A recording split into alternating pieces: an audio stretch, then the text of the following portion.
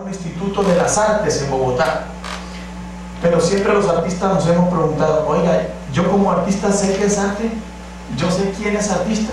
Entonces, entonces, con este ejercicio que vamos a hacer, pretendemos es como generar inquietudes dentro del sector, ¿de acuerdo? Entonces, hablar acerca del concepto de arte es muy amplio, como, como todo en la vida, ¿no? Es muy complejo, sigue siendo discutible el significado de la palabra arte porque encierra muchas, pero muchas cosas. Este concepto ha sufrido variaciones a través del, tiempo, ¿no? En consecuencia, pues esto no puede ser único, homogéneo ni universal. Eso, eso como para el punto de partida. El término es cambiante, es dinámico, dado pues la, la misma dinámica de la vida. Puede referirse desde una variedad de objetos hasta una infinidad de actitudes humanas. Se encierra muchas cosas el término arte. Varía según la cultura, de acuerdo con la civilización, la época, el grupo de personas, o sea, el concepto es variante tanto en Occidente como en Oriente, ya lo vamos a ver ahora. Si nos remitimos a la historia, a la etimología, pues sabemos que Occidente tiene influencia de la cultura griega, de los helenos. Hubo Platón, el famoso Platón, eh, acuñó un término, bueno, no sé cómo se pronuncia, tecné, algo así, para referirse a ciertas prácticas u oficios. Fíjense que nosotros hablamos de oficio, que requerían alguna destreza, es decir, algo técnico, tecnológico, tecné que es lo que hoy llamamos algo así tecnología. Posteriormente los romanos asimilaron este término y lo acuñaron como arts artis, algo así como una habilidad técnica específica, o sea, el término fue, fue, fue, fue creciendo. Una de las tantas características que podemos hablar, bueno, ¿qué diablos es arte? Como para ¿Qué define qué es arte? Ha habido muchos consensos. Esto podría ser sesgado, podría ser incompleto, pero lo traje como para mencionar entre muchas características. Claro, siempre que se menciona la palabra arte, ah, belleza, ¿cierto? Porque los humanos siempre buscamos lo bueno, lo mejor, ¿de acuerdo? Entonces, claro, que tenga una dificultad, que no sea una cosa facilísima, ¿cierto?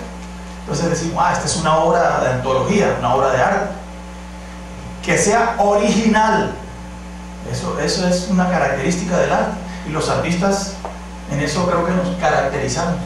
Y por supuesto que tenga una transmisión de sentimiento, porque algunos han dicho el arte del sentimiento humano, bueno, en fin.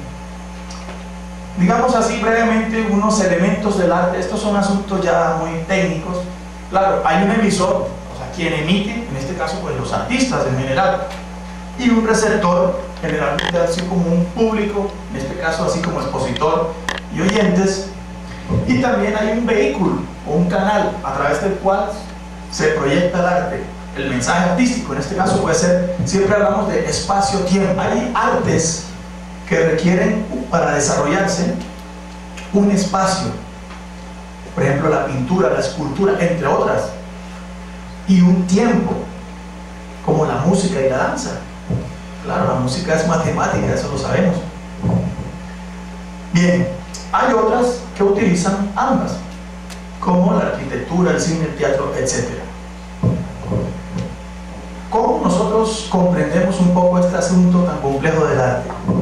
Claro, siempre va a estar sujeto al criterio, depende de qué perspectiva se, se enfoque mm, a la hora de conocer un hecho artístico digamos que este concepto de arte es cambiante, pues si está sujeto pues a, incluso es subjetivo.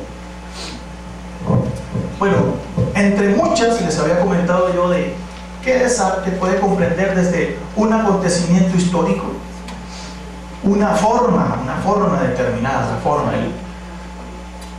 de pronto puede ser una representación gráfica, sonora, incluso un lenguaje mismo. Digamos que, en resumen, podríamos como comprender el arte de esa. Vamos a hablar de formas, eh, también llaman disciplinas o aquí en nuestro país le llaman áreas artísticas, pero que convencionalmente se conoce como prácticas artísticas. ¿De acuerdo? Bien, es tan complejo este asunto que ahora se habla de áreas afines, pues dado la dinámica misma de la vida, cada día surgen miles de expresiones artísticas y nosotros no sabemos, porque nuestra sociedad occidental tiene el concepto de que artista, ¿con qué yo, con qué, con qué yo asimilo? O sea, ¿con qué yo puedo comparar la palabra artista? ¿A quién me remito? Ah, a los cantantes, pintores, bailarines, ¿cierto? El ente regulador de la cultura en Colombia, por supuesto, es el Ministerio de Cultura Nacional. Voy a leer aquí rápidamente, dice, en el Ministerio de Cultura no se hace política artística, sino una política social que promueve el campo artístico. Aquí las artes se entienden como experiencia y pensamiento mediado por la percepción, la emoción, el sentimiento, la imaginación y la razón. Las prácticas artísticas se traducen tanto en obras como en acontecimientos y procesos, modos de vida y relaciones sociales. Los principios que regulan las políticas de arte en Colombia radican en la necesidad de garantizar diversidad, cobertura y calidad en condiciones de equidad.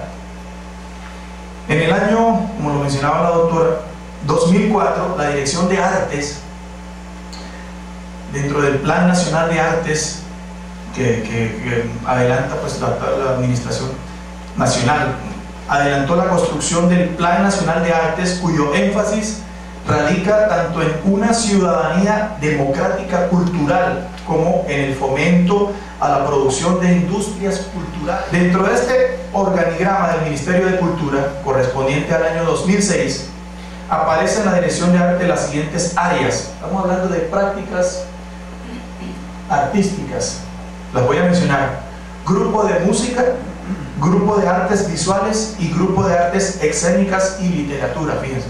Eso es lo que habla el Ministerio de Cultura, que es el ente nacional. Me voy a remitir aquí pues, al distrito, de la ciudad de Bogotá. Conforme al decreto 221, se establece el sistema distrital de cultura. Y en un párrafo dice lo siguiente, entonces, aquí en Bogotá se asumen las diferentes áreas artísticas como artes musicales, fíjense, artes danzaria 2, dramática 3, literaria 4, plásticas y visuales 5, audiovisuales y fíjense, cualquier otro que pueda surgir de la dinámica cultural previo concepto del Consejo Distrital de Cultura. O sea que este concepto de arte es dinámico. ¿Qué serán artes escénicas?